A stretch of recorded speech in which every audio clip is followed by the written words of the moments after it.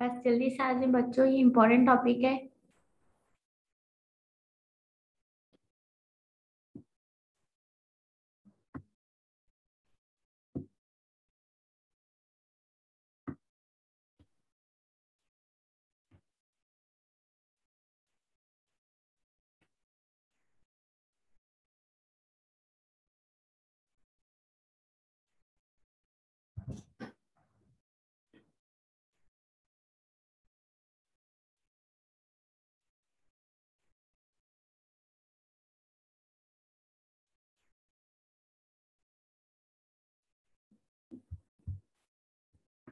सबकी अटेंडेंस होगी थी ना जो लॉगिन थे आज के दिन, अभी इस सेशन में?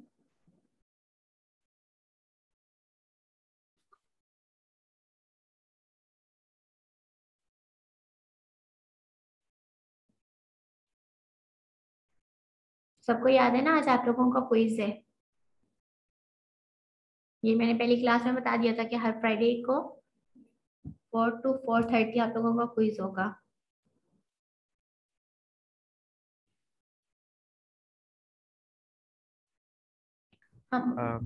There was a request actually miss अगर इफ़ पॉसिबल हो तो असाइनमेंट्स की डेट आप संडे टू संडे रखा करें. Like it would be more feasible for us because schedule Monday to Friday काफ़ी बिज़ी होता है और अब तो मंडे से फिर क्लासेस भी स्टार्ट हो जाएँगी.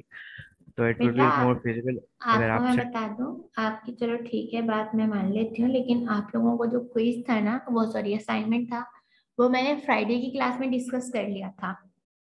तो आपका फ्राइडे से क्विज था जिसमें आपका वीकेंड भी आ गया था।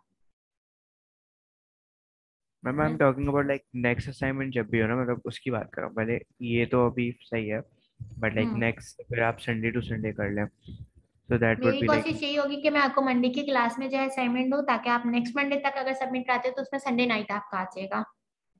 That would be good ma'am yes Monday की क्लास में आप लोगों का असाइनमेंट हो ताकि फ्राइडे को आप लोगों का जो है एंड में क्विज होगा और मंडे वाले दिन आपका असाइनमेंट हो जाएगा।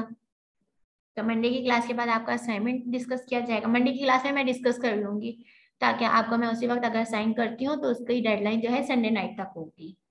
अभी भी आपका ये था लेकिन फ्राइडे को डिस्कस किया गया था आपका। तो कहते हैं मैं दो दिन की एक्सटेंड कर देती हूँ उसकी डेट ठीक है? आप संडे तक मुझे सबमिट करा दीजिएगा। लेकिन संडे के बाद मैं नहीं लूँगी बेटा क्योंकि मुझे चेक भी करना है और चेक करने के बाद जो है अगर मंडे की क्लास के बाद मैं आपका प्रीवियस संडे तक का असाइनमेंट चेक करती हूँ तो मुझे उसके आपके मार्क्स के साथ साथ अपडेट करने हैं। और आप लोगों को मालूम होगा, इस चीज़ को माइंड में रखिएगा कि आप लोग क्लास में 17 स्टूडेंट्स हैं और 17 स्टूडेंट्स के ऊपर एब्सोल्यूट ग्रेडिंग होगी। तो बेटा प्लीज़ ये चीज़ माइंड में रख के अपना इस पर कोर्स पढ़ें। यहाँ पे कोई रिलेटिव ग्रेडिंग नहीं लग रही कि आप लोगों को माफ़ी मिल जाए। एब्सोल्यूट ग्रेडिंग है। तो आपके पास सबसे ज़्यादा मार्क्स गेन करने के ग्रेडिंग क्यों होगी? वैसे मेरे हमारी यूनिवर्सिटी में तो वैसे आरजीएस होता है ना। आरजीएस होता है लेकिन बेटा वो ट्वेंटी प्लस भी होता है। आप लोग सेवनटीन स्टूडेंट्स हैं इस वक्त क्लास में।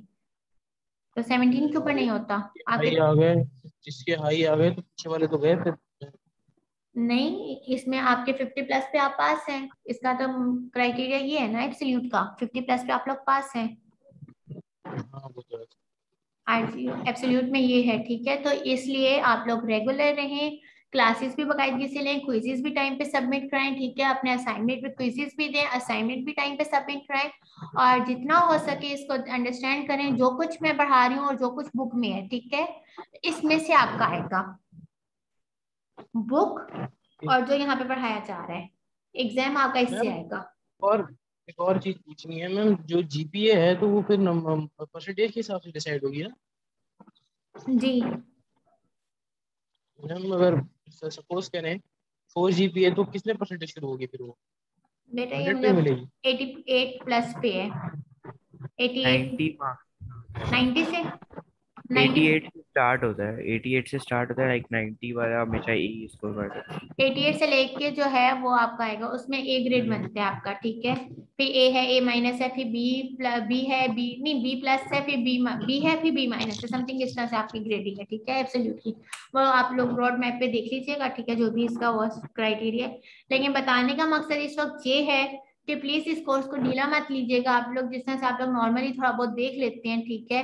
कि चलो वो आरजीएस लग रहा है तो आरजीएस के ऊपर जो है एक आध मार्क्स कम भी हो गया तो हम लोग पास हो जाएँगे। यहाँ पे एग्जैक्ट फिफ्टी वाला पास होगा बेटा। फिफ्टी फिफ्टी से अबव वाले, उसके ऊपर ग्रेडिंग आप लोगों की होगी। और ये ग्रेडिंग होगी जो कि ऑलरेडी सिस्टम डिफाइन करेगा, मैं नहीं करूँगी। तो इसलिए मार्क्स इस बार आपके अपने हाथ में अगर आप लोग मुझे कहते हैं मैं हमारी अटेंडेंस लगा दे, मैं उसमें कोई इशू नहीं करी क्योंकि उसके पीछे रीजन यही है कि आप लोगों ने एग्ज़ाम्स में बैठना है, आप लोग एग्ज़ाम्स में बैठेंगे अपने मार्क्स गेन करेंगे तो आप लोग पास होंगे। मार्क्स कहाँ होंगे? फिफ्टी मार्क्स के ऊपर। असाइनमेंट वक्त पे सबमिट कराएँ क्विजेस लाजमी दें, और अगर हो सके तो अच्छे से अच्छा दें। ये मार्क्स आपके अपने हाथ में इसमें हम लोगों को बेल शेप नहीं बनाना है। इसमें हम लोगों को जो है, वो हम लोगों ने स्टैंडर्ड एविएशन नहीं देखना है। इसमें आप लोगों को जो मार्क्स आएँगे, वही आप लोगों के मार्क्स होंगे। इसमें ग्रेड एक आरजीएस फ़ाइल वाले नहीं, बल्कि जो यूनिवर्सिटी के डिफाइन हुए सिस्टम में है, वो आप लोगों के ग्रेड्स होंगे, ठीक है?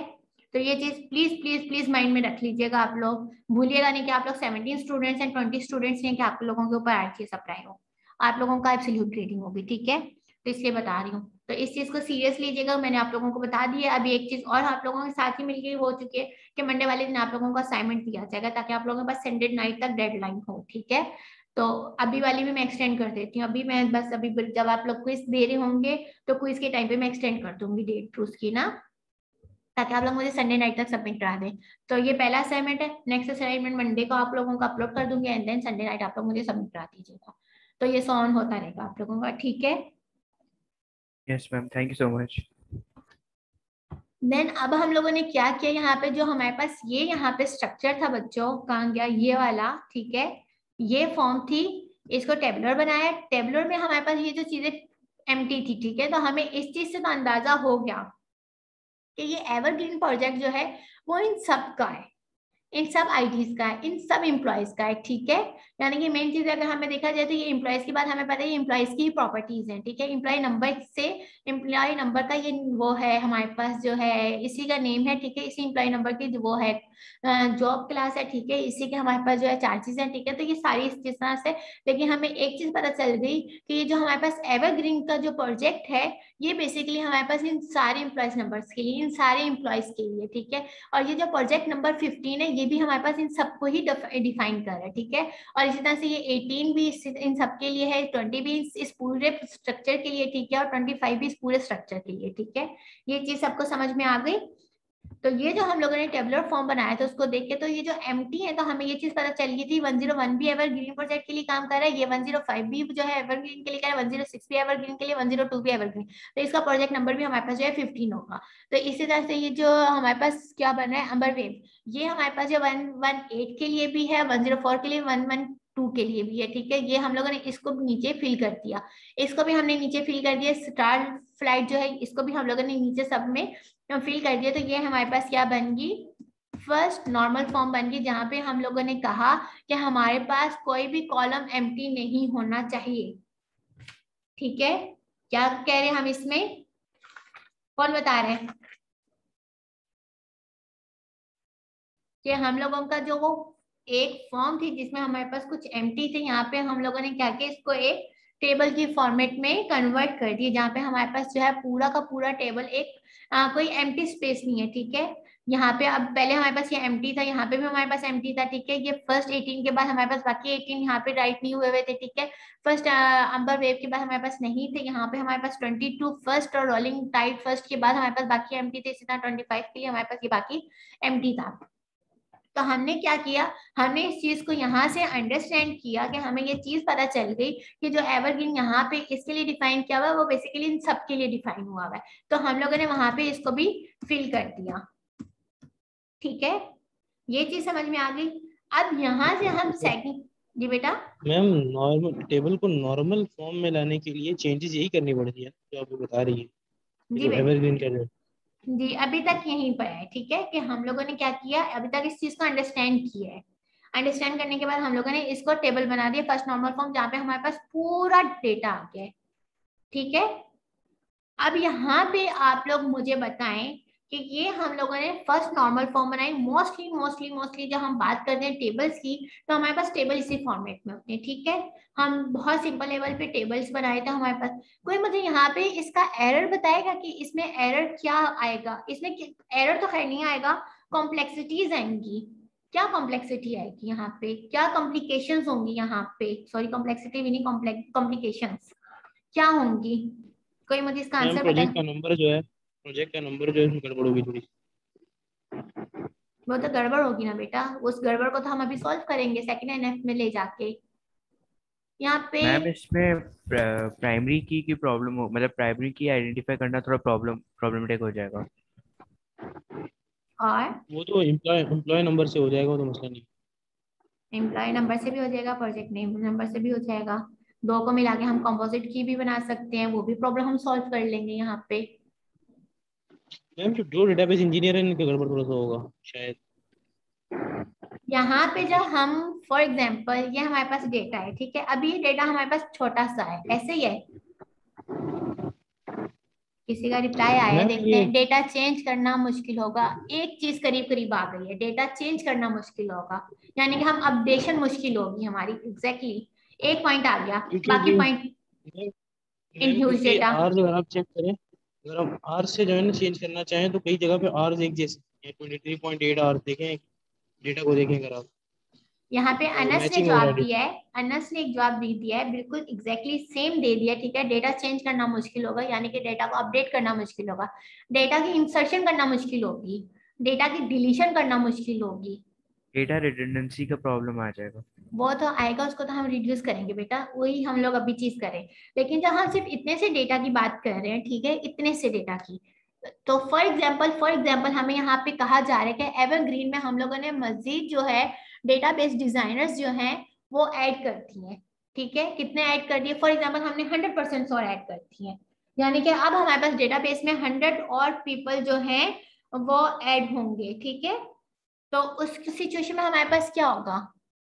हम हर बार जो है यहाँ पे उसका फिफ्टीन लिखेंगे एवरग्रीन लिखेंगे, उस, जो भी पर्सन होगा, उसके आईडी लिखेंगे, उसका नेम लिखेंगे, फिर यहाँ पे हमारे पास डेटाबेस डिज़ाइनर आ जाएगा। डेटाबेस डिज़ाइनर की वो आ जाएगी, ठीक है, उसके जो हमारे पास टोटल चार्जेस है वो आएँगे। यहाँ पे हमारे पास चीज़ सेम हुई यहाँ पे हमारे पास चीज़ सेम होगी, ठीक है। यहाँ हमारे पास चीज़ सेम होगी, यहाँ पे हमारे पास चीज़ सेम होगी। कितनी हम लोग जो है डेटा को एक्स्ट्रा ऐड कर रहे हैं, ठीक है? हम लोग हर रो के, हर कॉलम में जाके उसकी इंसर्शन कर रहे हैं, ठीक है? हम उसमें कंप्लीटली एक डेटा क्यूरी लगा लगा के उसमें ऐड करी जा रहे करी जा रहे हैं कहीं हंड्रेड टाइम हम लोगों ने ऐड किया।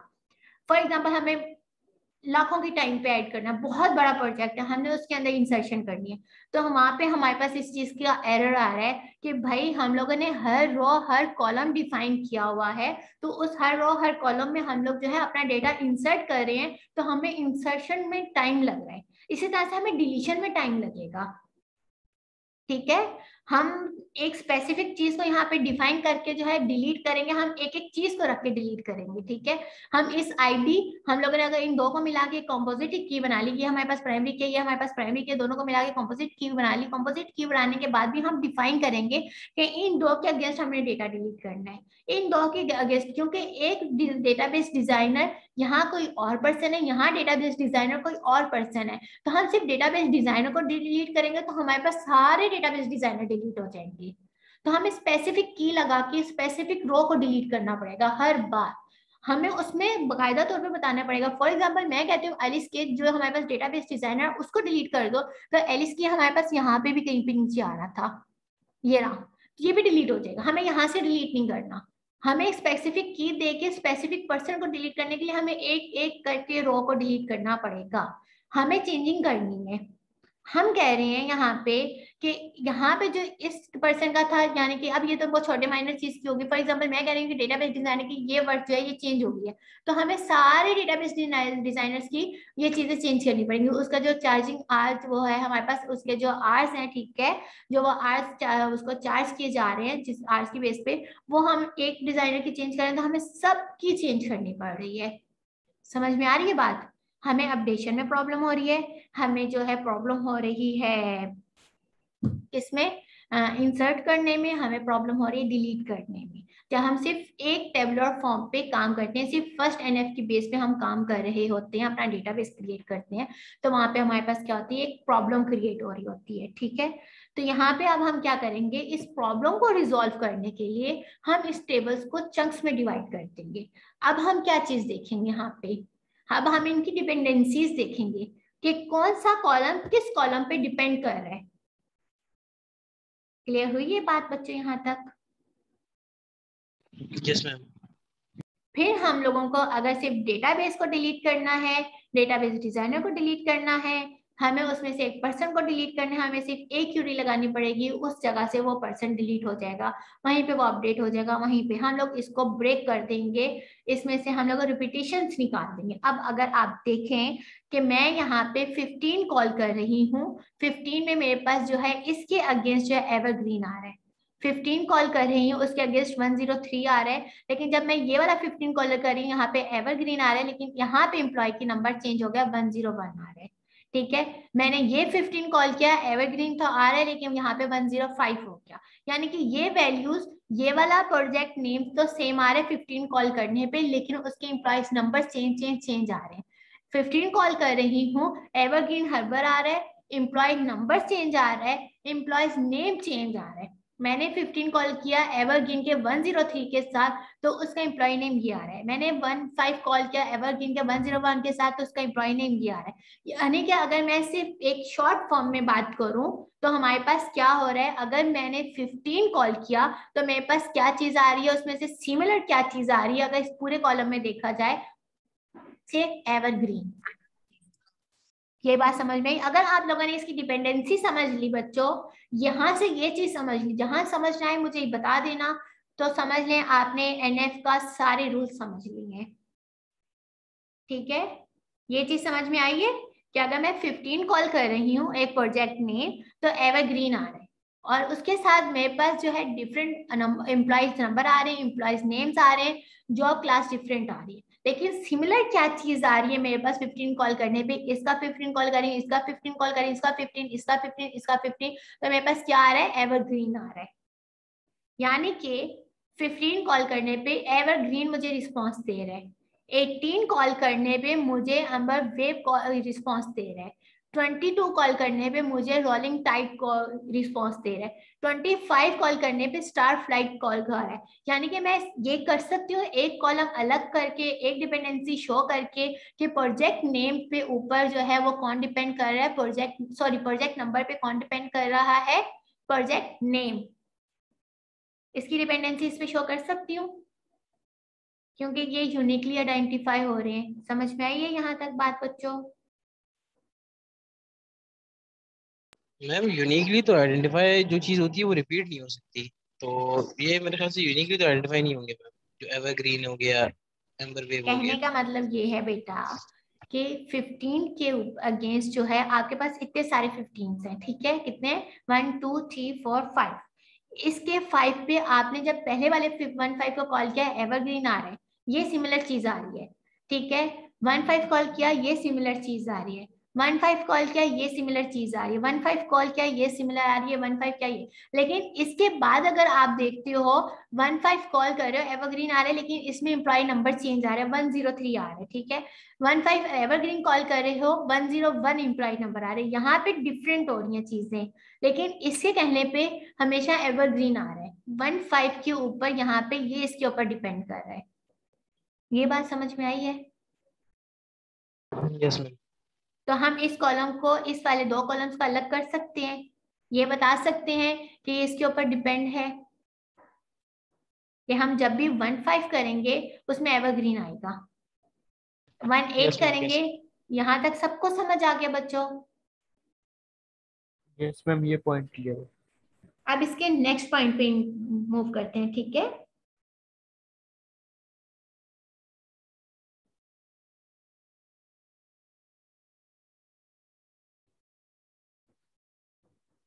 इसके नेक्स्ट हमारे पास क्या है इम्प्लॉय नंबर है ठीक है ये दो का हम लोगों ने प्रॉब्लम सॉल्व कर दिया कि ये हमारे पास इस पे डिपेंड है लेकिन ये इस पे डिपेंड नहीं हो रहा क्योंकि वन फाइव कॉल कर रही हूँ तो कभी वन ज़ीरो थ्री आ रहा है कभी वन ज़ीरो वन आ रहा है कभी वन ज़ीरो फाइव आ रहा है कभी वन ज़ीरो सिक्स आ रहा है कभी वन ज़ीरो टू आ रहा है तो ये इसके ऊपर डिपेंड नहीं कर रहा मैं वन फाइव कॉल कर रही हूँ तो कभी जून आ रहा है कभी जॉन आ रहा है कभी एलिस आ रहा है कभी जो है हमारे पास विलियम आ रहा है कभी हमारे पास जो है ये आ रहा है ठीक है तो ये इसके ऊपर डिपेंड नहीं हो रहा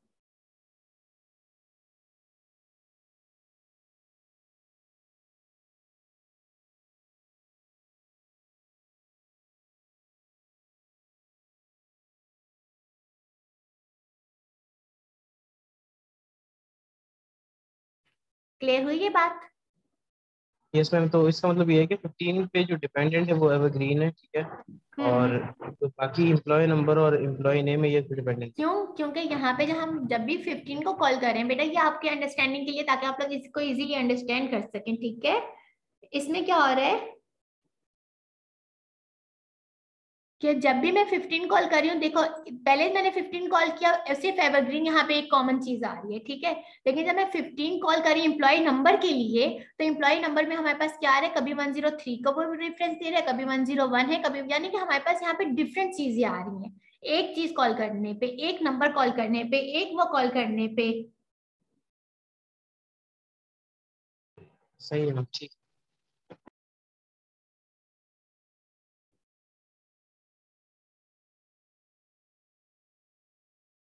अब हम नेक्स्ट मूव करते हैं, ठीक है? अब एक चीज़ यहाँ पे गौर से देखिएगा, ये थोड़ी सी डेप्थ वाली चीज़ है जो कि अगेन हम लोग जो है इसको वो करेंगे।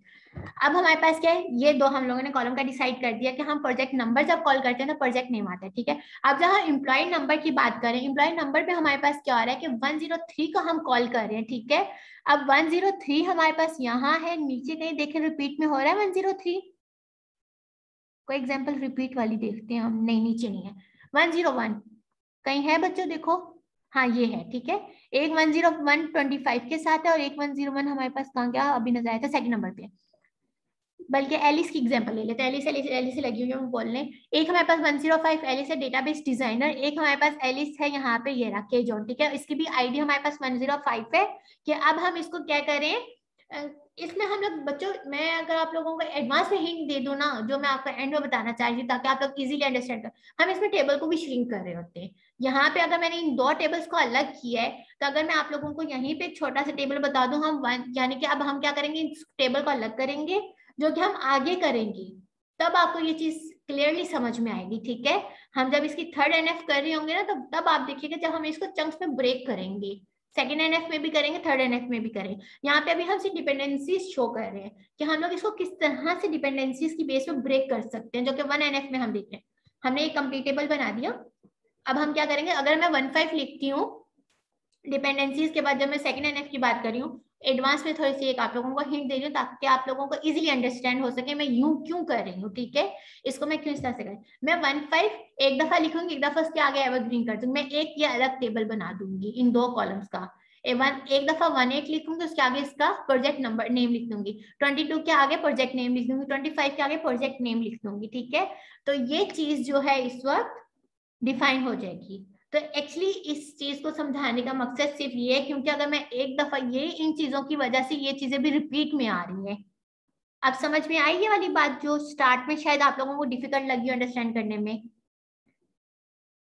यस मैम क्लियर हो रही है। अब क्लियर हुई कि ये इसलिए इसकी डिपेंडेंसीज शो की जा रही है कि ये चीज़ें रिपीट हैं ये डिफरेंट है सॉरी रिपीट कह रही हूँ ये डिफरेंट है ये डिफरेंट है ये डिफरेंट है इस वजह से ये repeat repeat repeat extra repeat हो रही है। तो इस एक्स्ट्रा रिपीटेशन को हम लोगों ने क्या किया एक टेबल में छोटे से में कन्वर्ट कर दिया, जहाँ पे अभी हमारे पास चार डिफरेंट वैल्यूज़ थी तो वो चार रोज का कॉलम टेबल बन गया। तो अब हम लोगों ने इसकी डिपेंडेंसी ये शो कर दी, इसीलिए मैं कह रही हूँ, हम इसमें डिपेंडेंसी निकाल रहे हैं कि कहाँ पे जो है, एक चीज़ को कॉल करने पे हमारे पास मल्टीपल डेटा आ रहा है, हमने वो मल्टीपल कॉल नहीं करना। हमने जितना कम हो सके, जितनी रिपीटेशन कम हो सके, हमने वो करनी है। अब क्लियर हुई एग्ज़ाम्पल ये वाली? हम yes, क्यों करें? सबको बच्चों? अब देखें ये चीज़ आप लोगों के अंडरस्टैंड में आगे होगी हमने ये इसलिए किया। अब देखो यहाँ पे मैंने इसलिए आपको एग्जांपल दे रही हूँ रिपीटेशन वाले की ठीक है?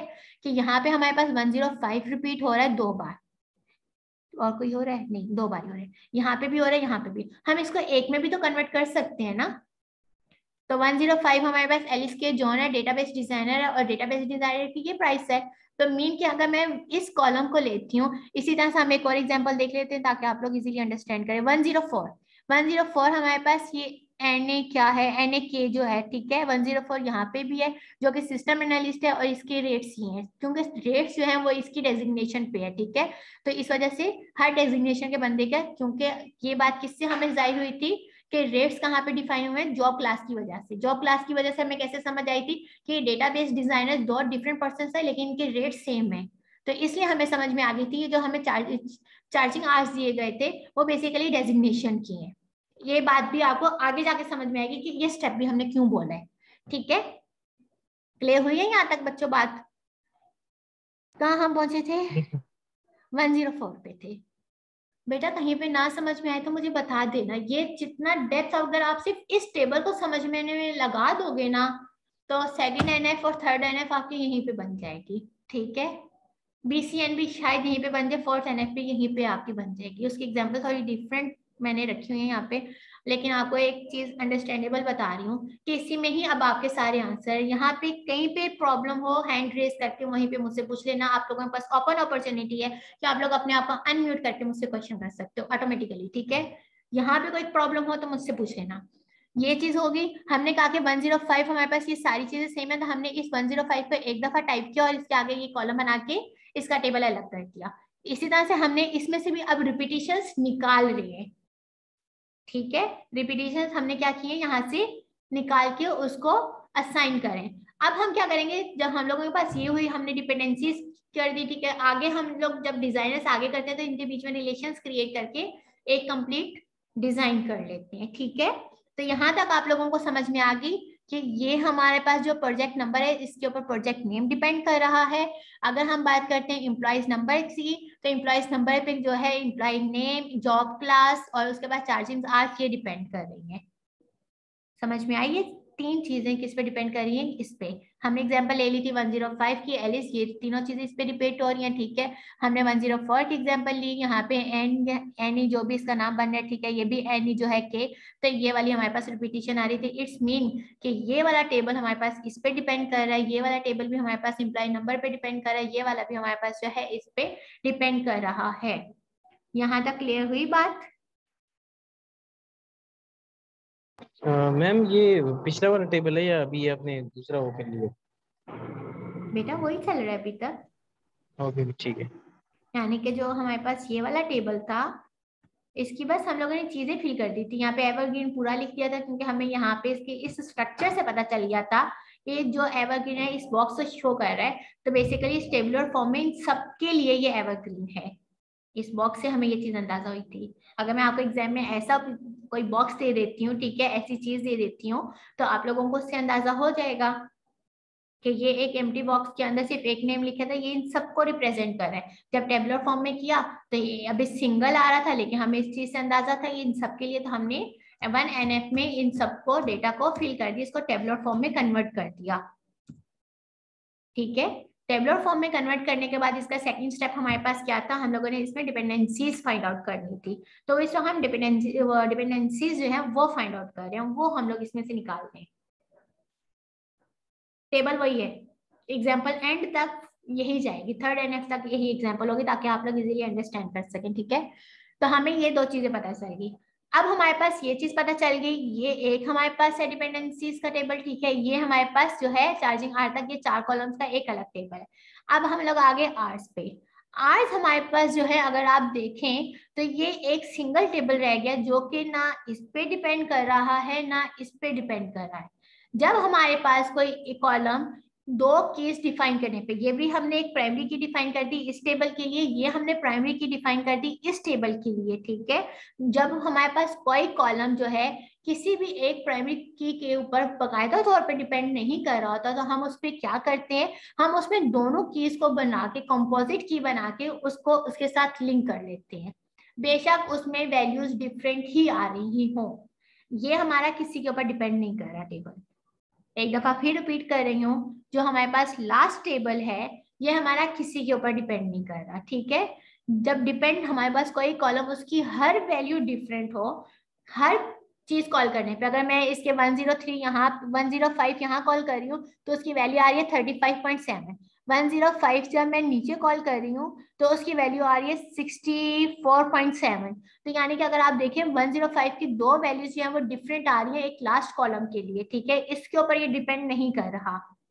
ठीक है? अगर हम यही चीज़ देखते हैं तो यहाँ पे हमारे पास वन फाइव है इस चीज़ के लिए। कहा गया? एलिस का देख रही थी ना थर्टी फाइव और यहाँ पे हमारे पास जो सिक्सटी फोर है, उसकी वैल्यू ट्वेंटी टू हो रही है। तो यानी कि हमारे पास जो है, अब हमने इसमें फॉरवर्ड देखना है। कभी हमने बैकवर्ड नहीं यहाँ पे देखना कि ये दो वैल्यूज़ यहाँ पे कोई सेम है? इस वक्त 23.8 पहली है।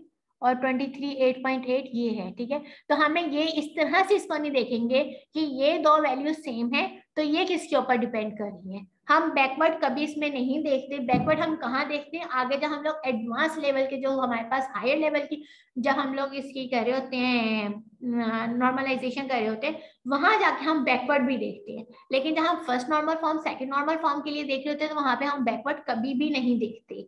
क्लियर है ये बात? तो इसलिए हम यहाँ से बैकवर्ड नहीं देखेंगे। हम इसको हमेशा फॉरवर्ड देखेंगे कि वन ज़ीरो वन फाइव के ऊपर इसकी वैल्यू ये है इस वाले आर्स की ठीक है जो कि हमारे पास किसका था?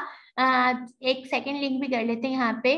तो हमारे पास इस प्रोजेक्ट के लिए ये वर्थ नहीं आ रही ठीक है? इसकी वर्थ बनती है हमारे पास इस वाले इम्प्लॉयज के साथ टेबल के साथ। लेकिन इसमें भी डिफरेंट आ रही है। हर बार कॉल करने पे डिफरेंट आ रही तो अब हम क्या करेंगे कि इस कॉलम का लिंक कर देंगे इन दोनों प्राइमरी कीज को जो हमने यहाँ पे डिफाइन की है। यहाँ पे कोई और भी डिफरेंट ऐसा कॉलम होगा, उसको भी हम डिफाइन कर देंगे इन दोनों प्राइमरी कीज के साथ। इसको कंपोजिट की बना के एंड देन उसके साथ हम इसको असाइन कर देंगे। चाहे हमारे पास यहाँ पे वैल्यूज़ डिफरेंट ही आ रही हो। क्लियर है ये बात? सबको ये बात समझ में आ गई? डिपेंडेंसी वाली। इसके बाद जो है हम इस तरह का डिपेंडेंसी टेबल बनाते हैं। ठीक है? अब ये डिपेंडेंसी टेबल क्या कहलाते हैं? अब यहाँ पे हमारे पास वो डेफिनेशन आएँगी जो मैंने आपको बहुत पहले कहा था कि जब तक आप इस टेबल को अंडरस्टैंड नहीं करेंगे, अगर इस टेबल में अभी भी किसी को कोई चीज़ समझ में नहीं है वो बच्चों मुझसे पूछ सकते हैं। ठीक है? ओपन अपॉर्चुनिटी है कि आप मुझसे ये चीज़ अभी भी पूछ सकते हैं। हमारे पास अभी एक सेशन और मजीद रहता है, आप उसमें भी मुझसे पूछ सकते हैं। ये टेबल समझ में आ गया तो इसके आगे की सारी चीज़ें खुद ब खुद आप लोगों के लिए अंडरस्टैंडेबल है। ठीक है? तो देन हमारे पास मैम जो वैल्यू यहाँ पे रिपीट हो रही है 23.8 जो है ठीक है वो सेम हमारे पास जो है प्रोजेक्ट की है ठीक है? मतलब 15 के 15, 15 पे 15 हम्म, हम्म। पे 23.8 एक भी मिलेगा दूसरा भी मिलेगा। तो ये भी डिपेंड करता है ना 15 पे दोनों। देखिए बेटा ये डिपेंड नहीं कर रहा ठीक है? आप कैसे डिपेंड नहीं कर रहा ये? ये ऐसे डिपेंड नहीं कर रहा। अगर आप इस कॉलम का देखें 23.8 हमारे पास यहाँ पर भी आ रहा है। Twenty twenty three point eight है या सिक्स है ये? सिक्स है मैम। सिक्स है ठीक है। ये ट्वेंटी टू का है। नीचे देखिए ट्वेंटी थ्री पॉइंट एट वो ट्वेंटी थ्री पॉइंट सिक्स यहाँ पे भी आ रहा है। ये किसका है? ट्वेंटी फाइव का है।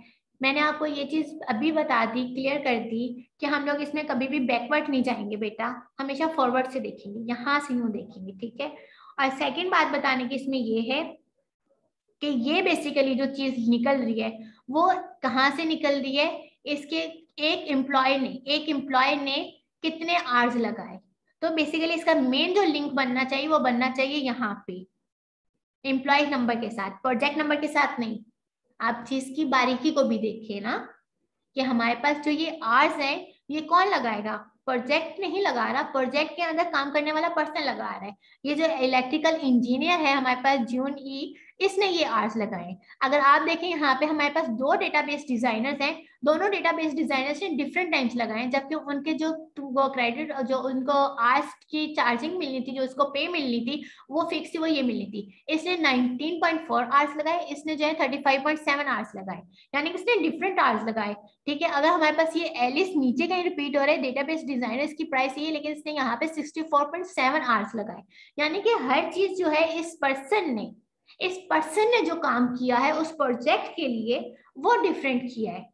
इस पर्सन ने इस प्रोजेक्ट के लिए ये काम डिफरेंट टाइम तक के लिए किया है, इतने घंटे के लिए किया है। इसी पर्सन ने अपना जो यहाँ पे एलिस था, इस प्रोजेक्ट के लिए ये काम इतने घंटे के लिए किया है। बात समझ रहे आप? तो बेसिकली किसने ये काम किया? इस पर्सन ने। अगर हम लोग जुमलों को भी जोड़ के बोल रहे तो ये प्रोजेक्ट आईडी से नहीं लिंक कर रहा है, ये लिंक कर रहा है एम्प्लॉयज़ नंबर से। तो इम्प्लॉयज नंबर में भी एक दो पर्सन का भी आज जो है वो डिफरेंट आ रहे हैं। समझ आप बात को? ओके मैम ठीक है समझ हमने यहाँ पे सेम एम्प्लॉय नंबर लिया था। सेम एम्प्लॉय नंबर का मतलब ये है कि आप जो है इनाम जो है ये एक क्लास का बच्चा जो है ये दो सब्जेक्ट्स ले रहा है। ठीक है? एक इसने लैब लिया जो कि थ्री टू क्रेडिट आर्ट्स की है, एक इसने वो ले लिया जो कि थ्री क्रेडिट आर्ट्स की, एक थ्योरी क्लास ले लिया जो थ्री क्रेडिट आर्ट्स की है, ठीक है? इस तरह से इसकी एग्ज़ाम्पल आप ले लें। तो एक एम्प्लॉय की हमने दो कैटेगरीज को डिफाइन कर है यहाँ पे यहाँ पे। एम्प्लॉय वन ज़ीरो फाइव हमारे पास एक एम्प्लॉय है जो कि इस प्रोजेक्ट में भी काम कर रहे हैं, इस प्रोजेक्ट में भी काम कर रहे हैं। यानी कि वो इस क्लास में भी बैठा हुआ है, वो इस क्लास में भी बैठा हुआ है। उसका नाम नहीं चेंज होगा उसका डेजिग्नेशन नहीं चेंज होगा। इनाम की फॉर एग्ज़ाम्पल क्वालिटी है कि उसको आई वो बनने हैं। क्या बनाऊ मैं आपको? क्या शौक है बेटा आपका? मैम साइबर सिक्योरिटी क्या है? साइबर सिक्योरिटी ठीक है? आपने साइबर सिक्योरिटी की तरफ़ जाना है। तो आपकी एक ही फ़ील्ड रहेगी, ठीक है? आप उस फ़ील्ड में डिफरेंट जगहों पे काम करेंगे। तो ये वो बात की जा रही है, ठीक है? आपने एक जगह डिफरेंट पेमेंट हासिल की, दूसरी जगह आपने डिफरेंट पेमेंट हासिल की है, ठीक है? तो ये उस हिसाब से बात की जा रही है। जब आपकी डिफरेंट चीज़ें आ गई हैं तो वो मैप नहीं होंगी एक जगह पे। उसकी वो नहीं बन रही चीज़ यहाँ पे, समझ रहे आप बात? यहाँ पे सिमिलैरिटी नहीं आ रही, यहाँ पे रिपीटेशन नहीं आ रही, यहाँ पे डिफरेंट चीज़ें तो इसलिए अब हम क्या करेंगे कि हम बता देंगे जो इम्प्लॉय नंबर 105 है ठीक है? उसने इस प्रोजेक्ट के साथ 15 के साथ इतने आर्स लगाए? हमारे पास 105 जो पर्सन था, कहा गया ये रहा? उसने 22 प्रोजेक्ट के साथ इतने आर्स लगाए। ठीक है? कंप्लीटली डिफरेंट वैल्यू आ रही है। हमारे पास इस पर्सन के ये आर्ट्स थे, अब हम इसका सेकेंड लिंक बना रहे हैं इस प्रोजेक्ट के साथ, यानी कि इन दो को कनेक्ट करके हम जो है इसका ये निकालेंगे, इसके साथ इसको लिंक करेंगे, ताकि हमको कल को मालूम करना हो तो हमारे पास ये क्या है क्यूरीज जब हम लगाएँगे, यहाँ पे एसक्यूएल अप्लाई करेंगे, ठीक है तो हम इसको ऐसे निकालेंगे कि हमारे पास क्या होगा एक टेबल ये क्रिएट हो जाएगा, एक टेबल हमारे पास ये क्रिएट होगा, एक टेबल हमारे पास क्या क्रिएट होगा, जो कि हमें आगे आप लोगों को बहुत क्लियरली समझ में आ जाएगी ये चीज़ कि हम लोग इसको क्या करें, इस टेबल के साथ क्या करें। तो हम उसमें से एक क्यूरी लगाएँगे कि एलिस ने जो है प्रोजेक्ट वन फाइव यानी कि एलिस में नहीं हम लिखेंगे, इसके आईडी लिखेंगे कि वन ज़ीरो फाइव आईडी के पर्सन ने जो है इतने घंटे लगाए इस प्रोजेक्ट के साथ, ठीक है? यहाँ पे हम ये बता देंगे कि हम क्वेश्चन करेंगे वन ज़ीरो फाइव जो एम्प्लॉय आईडी है, उसने प्रोजेक्ट नंबर ट्वेंटी टू में कितने आवर्स लगाए, वो हमें डेटा फेच करके दे तो वो हमें इसका आउटपुट दे देगा।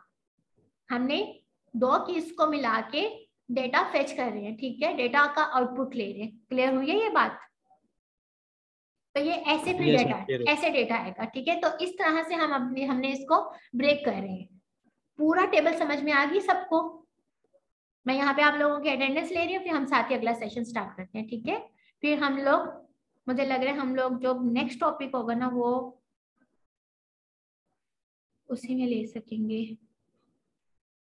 मैम मुझे आप लास्ट सेक्शन हाँ जो। है ना वो क्विज की तैयारी के लिए दे दी थी जो पिछले क्लास में हाँ बस ये मैं एन एफ़ वो करके आप लोगों का, ठीक है?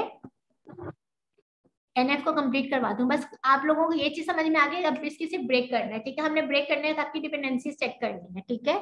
तो अब हमने क्या करना है, सिर्फ़ इसको ब्रेक करना है। तो ब्रेक करके फिर मैं आप लोगों को टाइम दे दूँगी, आप उसमें रिवाइज कर लीजिएगा रिवाइज करके साथ ही आप लोग फिर अटेम्प्ट कर लीजिएगा, ठीक है?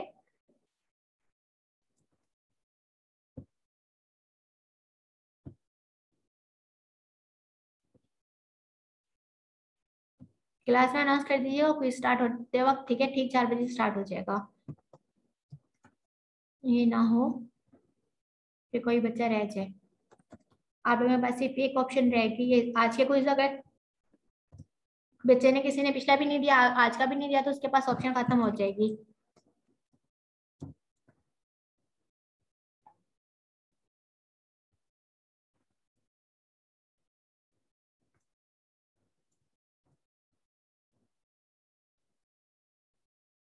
सबको अपनी अटेंडेंस शो हो रही है बच्चों?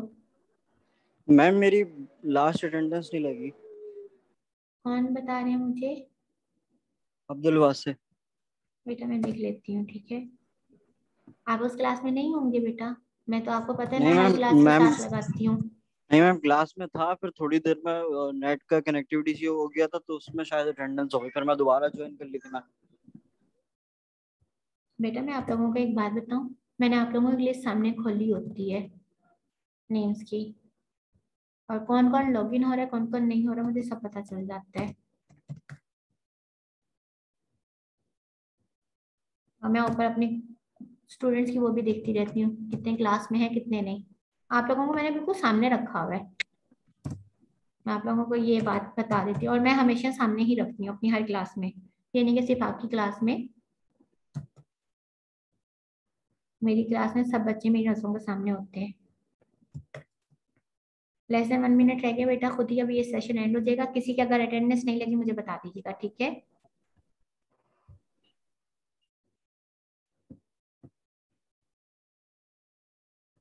मैम क्विज होगा आज? ऑब्वियस ही बात है बेटा होगा। नहीं लास्ट फ्राइडे